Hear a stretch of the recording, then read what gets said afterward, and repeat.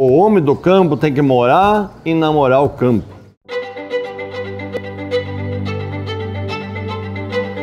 Eu comecei no arado de boi lá no Rio Grande do Sul, cortando na foice e no machado.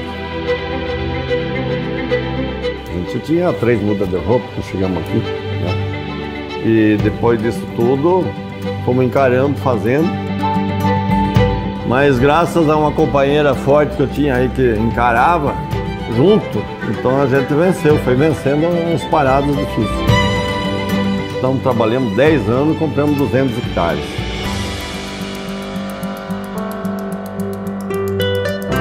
Olha, a dor da saudade foi muito grande no início, né? Lembrando de pai, de mãe, dos amigos, né? Da terra natal, do conforto, da energia elétrica, do telefone. Hoje tu, você está sentado aqui no escritório, tu está sabendo como é que a máquina está trabalhando no campo. Enquanto não está colhido, não está não tá salvo. Ontem mesmo, o soja seco nós estava colhendo, deu uma tempestade aqui, começou a cair umas pedras. Eu quase chorei. Digo, meu Deus, agora que é só colher, está vindo pedra.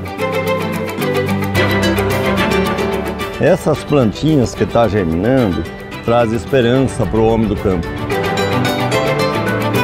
Disso aqui sai os empregos que nós damos aqui no campo, os empregos das indústrias e mata a fome da população do mundo. Então é daqui que sai o sustento de tudo.